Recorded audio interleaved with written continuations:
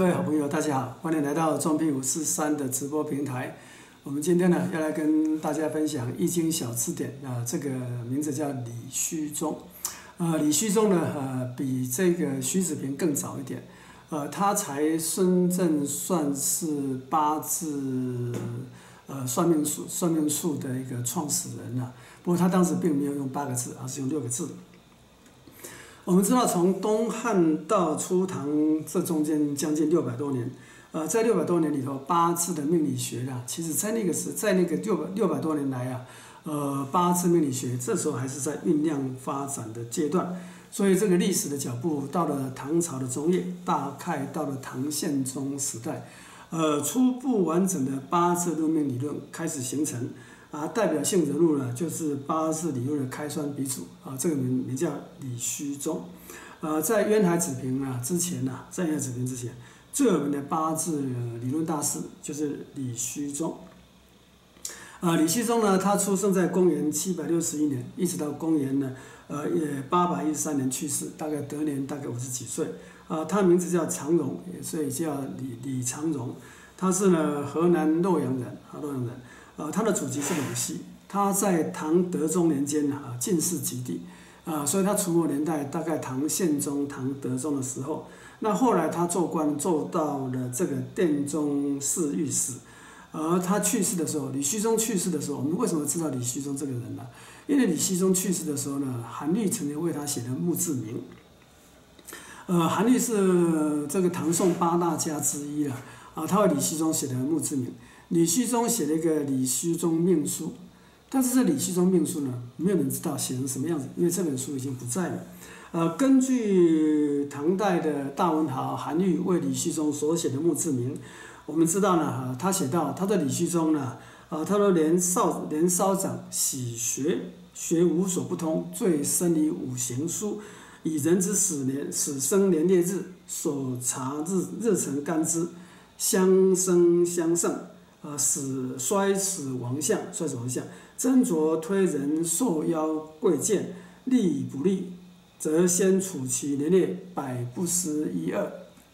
啊，这是呢，这个呃，韩愈呢为李虚中所写的墓志铭。他李虚中这个人呢，年纪很轻的时候就很喜欢读书，他读了非常多书，特别是对五行之书啊，他说他了然于胸，也就这个人读五行书读得非常好。他说他最厉害的地方是什么呢？他说以人之死生年月日所值日辰日辰还有干支，也就是他按照人人之人的出生的年月日，没有办法死哦，啊出生年月日，他所对照的干支。我们之前曾经跟大家分享天干地支理论的时候呢，跟大家分享天干地支大概到东汉啊白虎通会议之后呢，天干地支就变成中国祭日的一个正式的官。官方的记记录的年月日的一个方法，所以呢，根据韩愈的一个说法，他说了这个李旭中呢啊，他会按照人出生的年月日所对照的生呃所对照的干支，所对照干支，用来用来呢看看出这个人的生盛衰死亡相，啊，看出这个人呢的一个寿命啊，看出这个人呢究竟是成王成寇。或者是他是富豪还是贫贱之人？啊，他说他从这个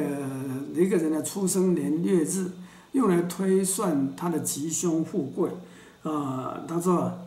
非常准。他说一百个当中啊，大概只有一两个不准，其他的非常准。所以他说百不是一二。啊，他说与其其说汪洋奥美，关节开解，万端谦虚，千三错重出。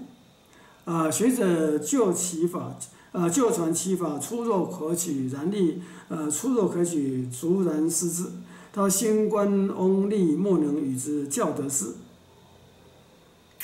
也就是说，他这个人呢，啊，根据韩愈呢对李旭中的五行命理之说了，啊，推崇备至。他他帮人家算命嘛，用年月日来替人算命。他说一百件里头，大概只有一两件呢有偏差，其他的都是非常正确。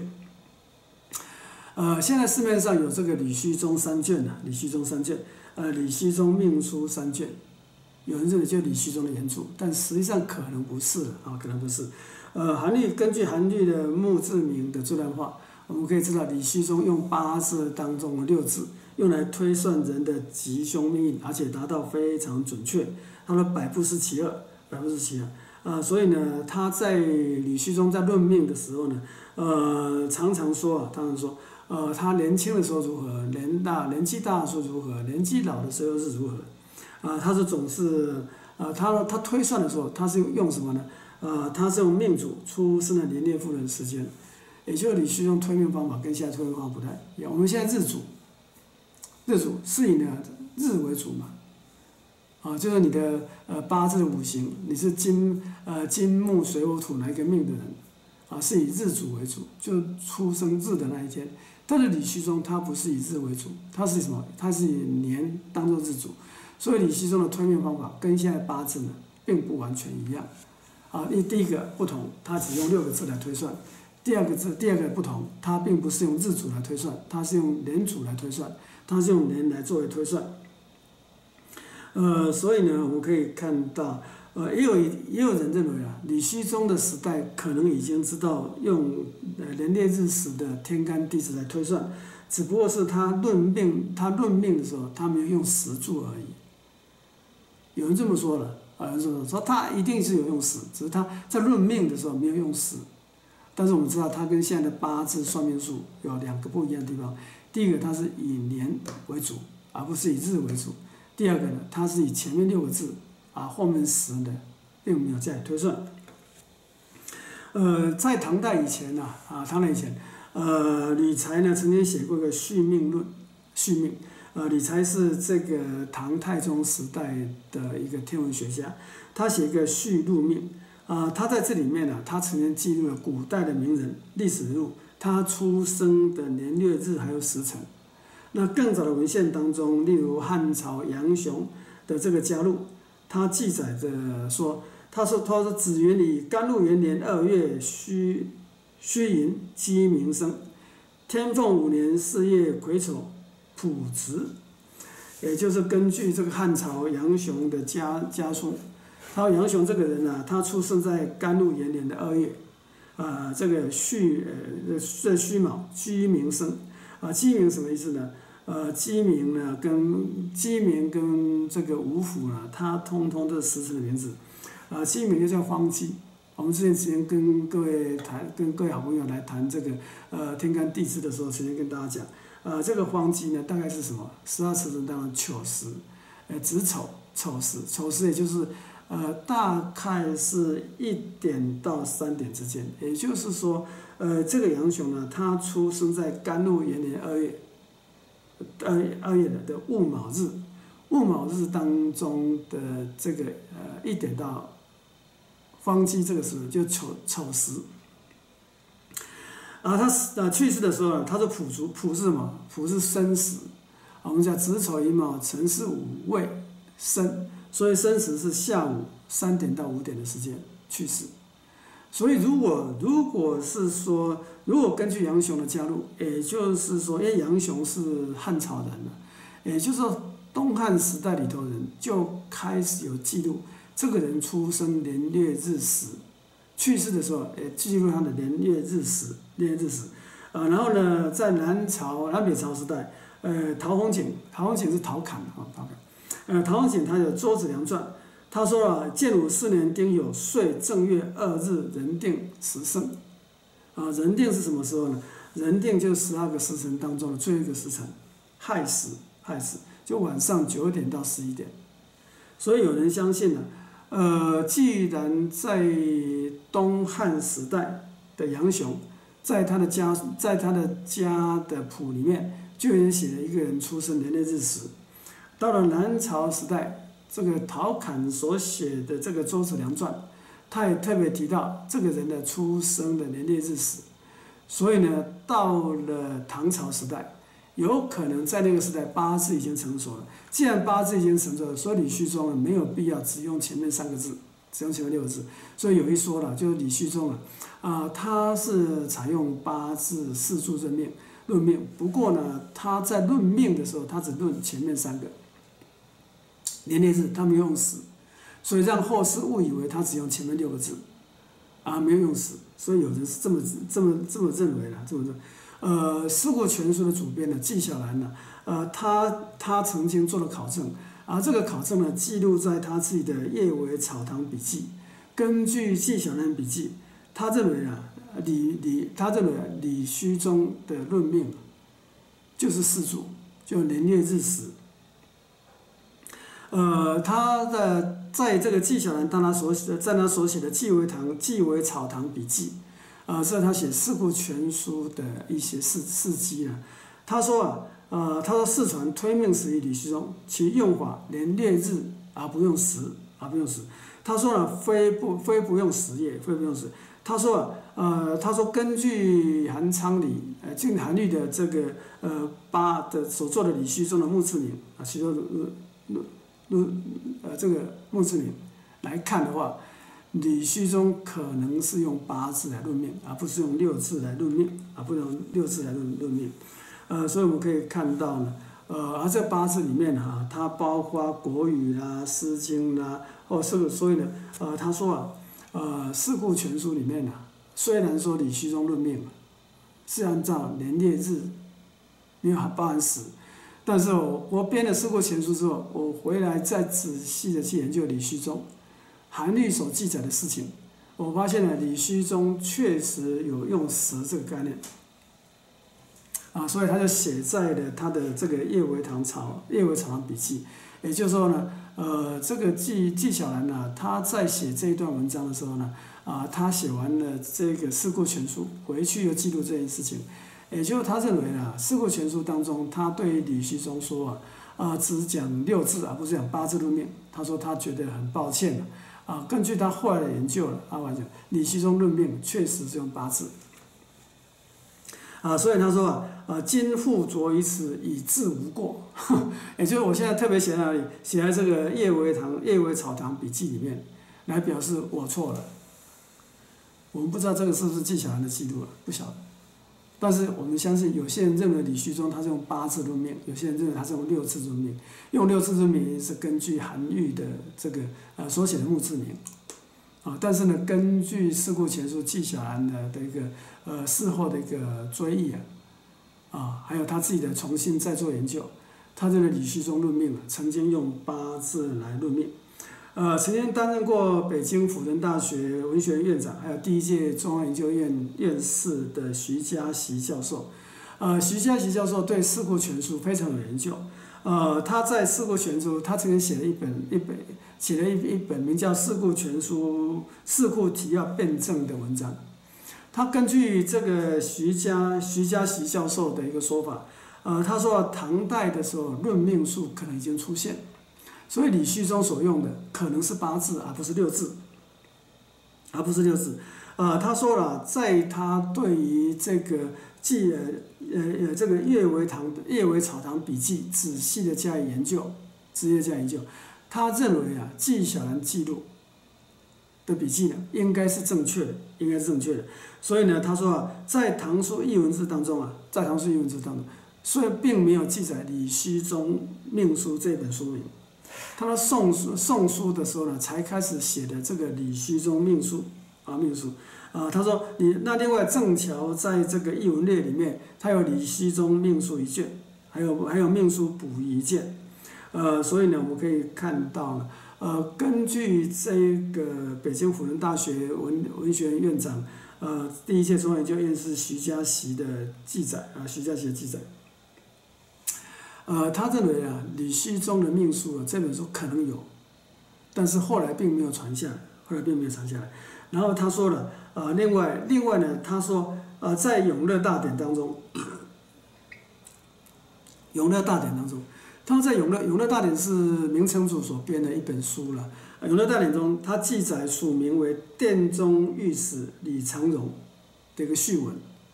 也就是说，他从这个《永乐大典》当中所做的一个记录，他发现，呃，《永乐大典》当中有一个记，有一个有一个人写了一篇文章，这个人的署名叫做殿中侍御史李长荣。他李长荣不是李旭中的号吗？所以李长，如果李长荣就是李旭中，那李旭中呢？他说，他说李旭中根据这个这篇文章，啊，李旭中认为呢，天地之始，河洛之书，箕子九畴，文王八卦。他说：“碳基幽为造化，呃，自小出遗文九篇，包括三才所指万物，季子得名字，美人言之祸福，时数吉凶，应如神察，当当为当时贵。呃，所以他说啊，呃，根据这个这个呃这个瑜伽喜教授的说法，他的李旭中用的可能是八字，而不是六字，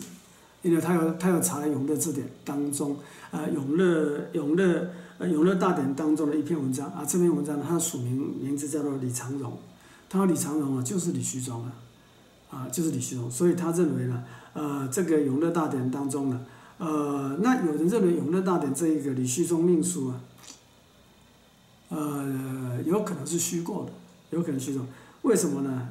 啊，为什么？啊，因为在这个《永乐大典》当中，他特别提到李虚中曾经见了司马祭祖。啊，司马祭祖曾经见过鬼谷子，他说这个显然呢，这这段话是永乐永乐大典当中的一个错误之处。他说鬼谷子呢是战国时代的人，司马祭祖呢是司马迁时代的人，他们两个人怎么能够能能够见面呢？能够见面的？呃，他说啊。啊，司马祭祖有一天呢，司马祭祖有一天，因为司马祭祖会卜卦嘛，我们知道是日，呃，这个呃日书呢就记载司马祭祖，这是呃西汉时代的算命算命师。他司马祭祖有一天呢，啊，他在湖山之阳，他就有一天呢，傍晚的时候下雨，雨下的时候停停了停了下来，停了下来之后呢，风清月朗，风清月朗就是。看起来清风徐来，这个非常看到月亮非常非常明亮。他是有一个老头子呢，突然之间呢，啊呃来敲我的门，来敲门。然后呢，我打开门问他说：“请问老，请问老先生是谁？”他说：“他是鬼谷子。”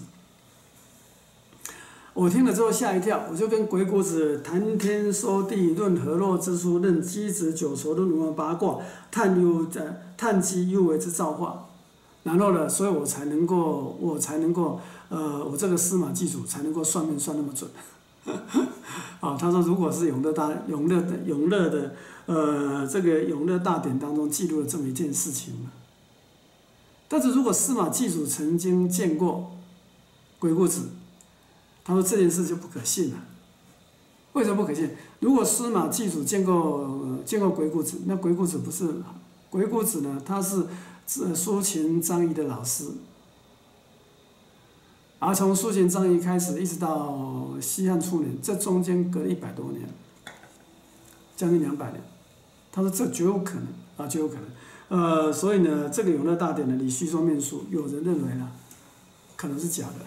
哦，可能是假，可能是有人造的，呃，可能是假的。呃，所以也有人认为呢，这个李旭中呢，呃呃，李虚中命书可能现在现在传的李虚中命书三卷，可能不完全是李虚中的手笔。但是李旭中这个人呢，一定对八字之学有所研究，而且呢，根据韩立所写的墓志铭，李旭中会用年月日来推命，是确定的。至于说他有有没有用到时，这两派说法，一派认为有，一派认为没有，一派认为有，一派认为没有。呃，所以我们可以看到，呃，李希宗命数里面，他还提出一个纳音年柱纳音的论命。也就是说，他基本上是以年柱来论命，啊，并不是以日主来论命，啊，日日来论命。然后他论命的时候，他根据年柱的六十甲子的纳音，的方法来推算天干地支的轻重。呃，我们知道了天干地支的这个每柱了，啊，它对人生的影响，它并不并不一样的，啊，并不一样。通常的说法是说，越靠近日柱的影响越大。啊，离日柱越远的影响越影影响越轻，所以它八个字里面，八个字当中每一个字呢，啊，它的它的分量不完全一样，啊，以后如果我们时间来跟大家分享了这个八字究竟在算命当中怎么计算这个重量，但是我们可以来再来跟大家分享。它一般的说法，它确实不一样，它确实不一样。所以他说，因为天干地支呢，对命的重量是不一样的，啊，这个八字的命格呢。就在这里决定，所以呢，因为天干地支它影响人的命格啦，它是不一样的，它影响人的命格是不一样，所以论命的时候呢，首先要看，呃，这个八字当中的轻重，三元当中的轻重，然后再来查看呢，啊，日月四柱的盛衰，呃，查看年柱三年的轻重，再查看呢，呃，这个日月世俗四柱的兴衰，那这样的话就可以知道得失。啊，但是我们不知道李旭中了哈。所以简单来讲，这是我们可以看到在近代学者里面呢，啊，对李旭中的一个研究，我们可以得到几个结论。第一个，李旭中确有其人，这个人呢，出生在汉唐朝德宗或宪宗时代，而且这个人呢，非常懂得算命，那年少时就非常喜欢这一套方法。韩愈曾经帮他写过墓志铭。根据韩愈的说法，李旭中呢，可能是第一个用八字算命的人。不过，李旭中算命究竟是用八字还是六字？啊，一般来讲不同说法，但是呢，根据一些《永乐大典》的，根据一些这这个这个《四库全书》的说法，还有根据呢这个呃呃这个北京大学文学院长第一届中央研究院院士徐嘉琪的一个说法，啊，李旭中用的可能是八字论命，啊，所以呢，我们现在讲的八字论命是指评述了，